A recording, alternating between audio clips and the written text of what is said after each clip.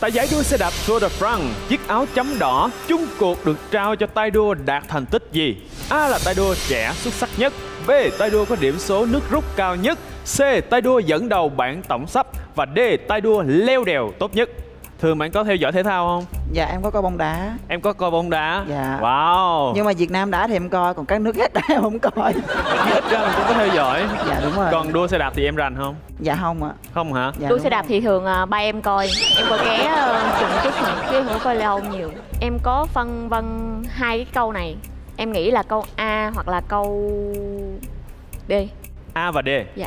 Các bạn đội không thắng không về. Mình có đang nghiêng về đáp án nào không? Nếu chưa có câu trả lời, ngại gì không nhờ cho dầu gió xanh Quang Phi. dầu gió xanh xích lại gần anh.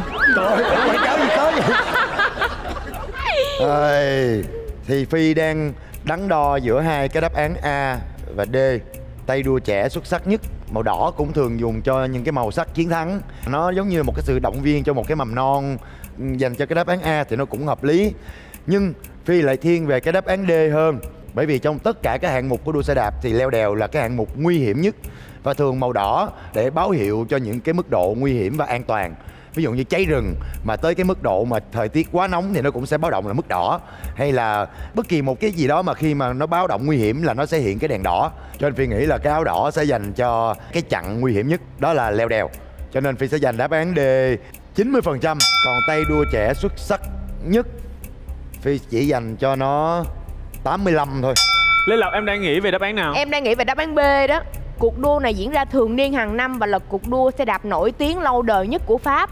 Thì trong vòng 23 ngày của tháng 7 Họ sẽ đua liên tục 21 chặng Thì mỗi chặng đua này sẽ có những số điểm khác nhau. Và chiếc áo chung cuộc dành cho người có số điểm cao nhất ở hạng mục tay đua có số điểm nước rút cao nhất sẽ là chiếc áo chấm đỏ. Tại vì mỗi chặng đua nó có một cái số điểm khác biệt Nên là những cái chấm đỏ đó giống như tượng trưng cho những cái chặng đua khác nhau. Ờ, Lê Lộc nghĩ là chiếc áo chấm đỏ sẽ rơi vào đáp án B. Tay đua có điểm số nước rút cao nhất. Bao nhiêu phần trăm ạ? Và 95% ạ.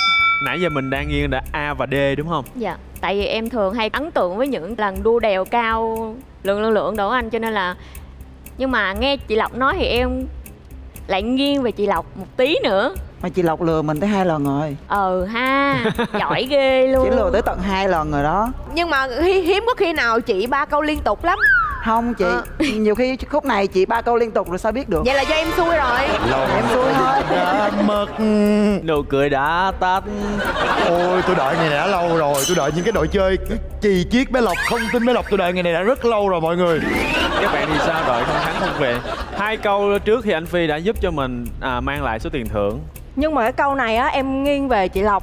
À, em ờ, thấy chị lộc dạ Quay rất là xe rồi, quay chảy. xe rồi. Rất là trôi chảy luôn. Không, cái đó Thì- là kiểu âm mưu của chị Lộc hay sao? không rất là thuyết phục luôn.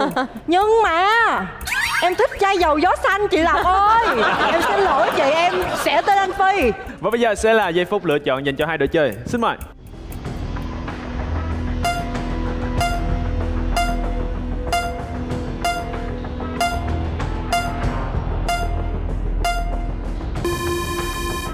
Xin mời đáp án của hai đội chơi. Oh. Wow. Đội chiến thắng đã chọn đáp án B. Đó là tay đua có điểm số nước rút cao nhất Theo lời của diễn viên Lê Lộc. Và dầu gió xanh Xích lại gần anh.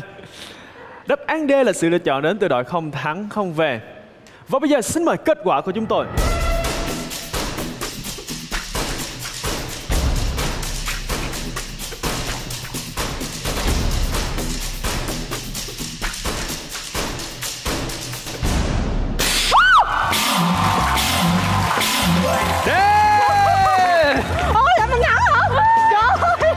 Và như vậy đáp án D, Tay đua leo đèo tốt nhất đã mang về thêm 8 triệu đồng tiền thưởng dành cho đội không thắng không về.